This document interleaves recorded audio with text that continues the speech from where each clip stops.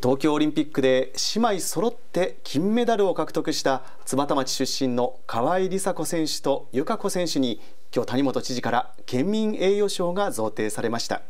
お祝いムード一色となった贈呈式に今日はもう一つ祝福することが。あの感動から間もなく1ヶ月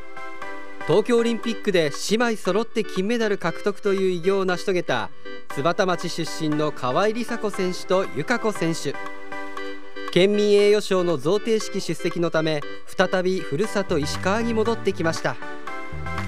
県民栄誉賞は元ニューヨークヤンキースの松井秀喜さんやロンドンオリンピックの柔道金メダリスト松本薫さんが受賞。河合梨紗子選手は前回リオで金メダルを獲得した時にも受賞していて今回が2度目となります。あの5年前の時姉妹の一人としてここ来たか来てないね？あるがご両親だけやったね、うん、ご両親だけやだから初めて5回目。あなたもそれぐらい目指して。世界選手権も含めて、うん合わせて知事から今日県の観光大使も委嘱された2人。実は金城さんも今日の贈呈式に参加。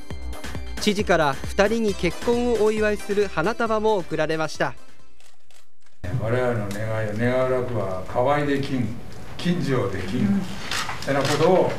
をね、えーまあ、そういう心境になられましたらいずれまたそういう言葉を、えー、出されるように。リオのオリンピックが終わってから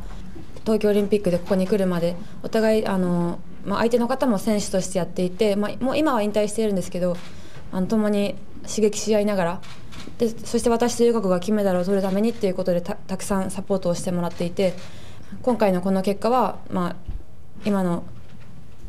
金城さんがいなければなかったなとも思うので本当に感謝していますしこれからもあのお互い支え合いながら次の目標に向かって頑張っていけたらいいなと思います。妹の由香子さんも姉を祝福。もともとお付き合いしてるのも知ってましたしあの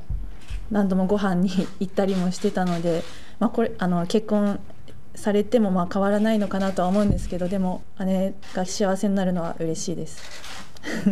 ありがとうございますしばらくはお祝いムードの河合家今後について聞くのは野暮なようです